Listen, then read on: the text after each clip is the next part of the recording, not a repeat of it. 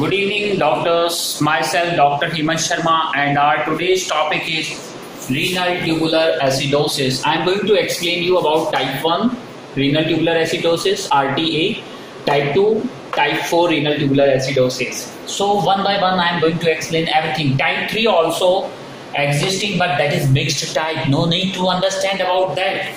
So uh, come closer type 1 uh, renal tubular acidosis is distal portion distal portion of kidney.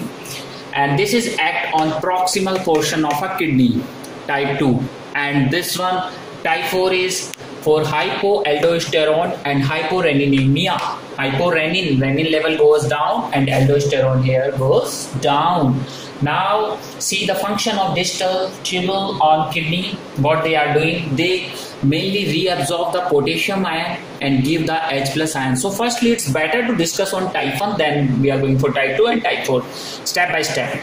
So it reabsorb potassium and give the H plus ion. So what happen if the uh, there is a problem on distal tubule, there is an injury, injury or damage here, it is not working, so it can't able to reabsorb potassium in a blood. So potassium is gone through by urine. So there is hypokalemia. Emia means in blood. So there is potassium level less than 3.5 in type 1 and it gives a H plus ion. This is acidic uh, into the urine. It uh, enters in a urine, but here it's failure, so it not able to mix with urine, so it accumulates in a blood. So the blood pH going to be high, less. It is acidic due to H plus accumulation. And what about the urine pH? If urine is not mixed with H plus ion, that's why the urine pH going to be up in basic side. And what was going to be happen in type 1? It is associated with stones, calcium stone, because basic urine responsible for the calcium stone, calcium accumulation. What are the causes? Causes of type 1 RTA is idiopathic, sometimes chronic hepatitis, sometimes amphotericin. It will damage the distal tubule and how to diagnose diagnose by ammonium chloride. We need to give ammonium chloride. This is an acid but still the urine ph is more because it can't able to absorb uh, it can't able to give h plus ion. That's why it is on higher side. This is on higher side always.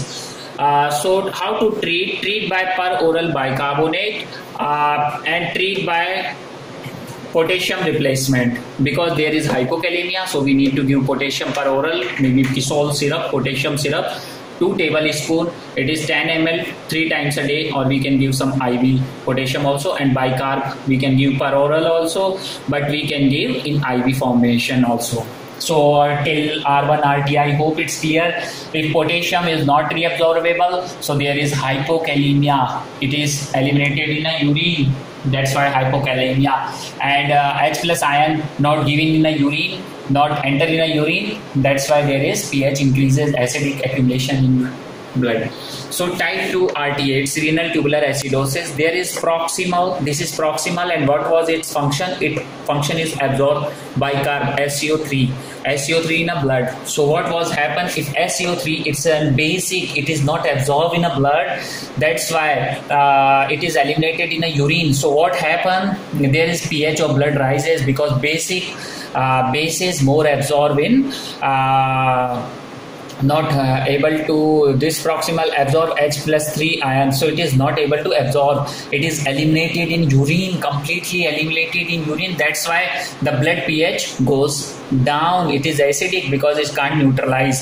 So what happened? There is hypokalemia occurs and uh, there is basic urine acidic urine. By acidic urine pH because rest of the uh, part of kidney is working properly. So distal is working properly and give H plus ion into the urine. That's why it is acidic side.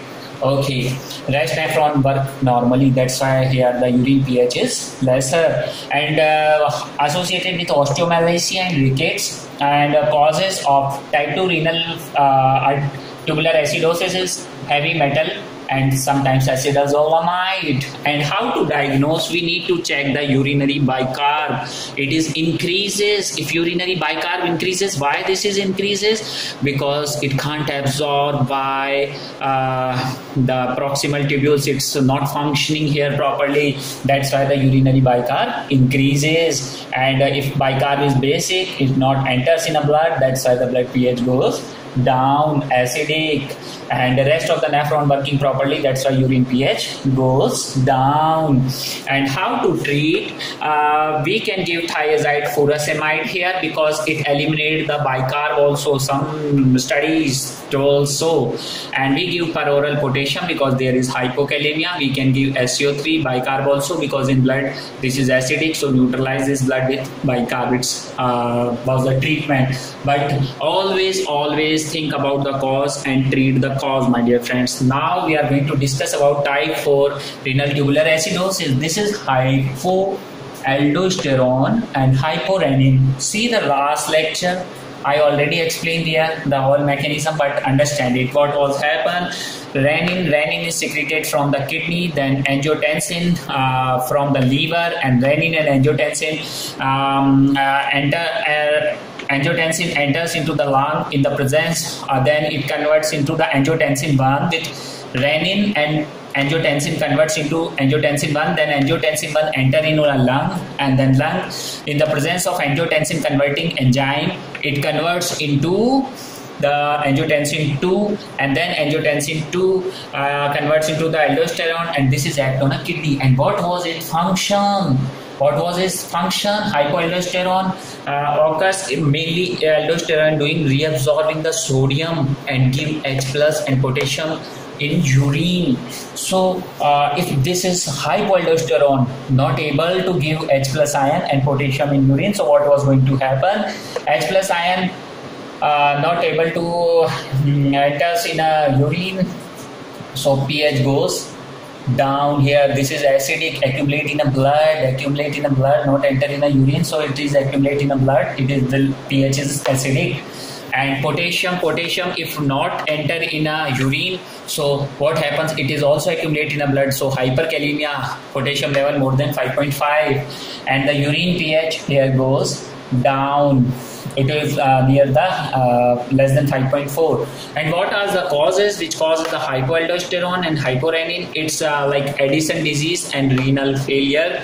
And how to treat? We need to give artificial uh, like uh, aldosterone. It's fludrocortisone we need to give per oral dose fludrocortisone so my dear friends myself dr hemant uh, and uh, i already explained the mechanism and how i make it simple for you. If you still not subscribe my channel please subscribe it. I hope this video will help you to understand the renal tubular acidosis. And uh, if you like my video please put like on it. If you have any query any questions about this topic you can ask me. I'm ready to answer you always. And if you want to study any question you can ask me.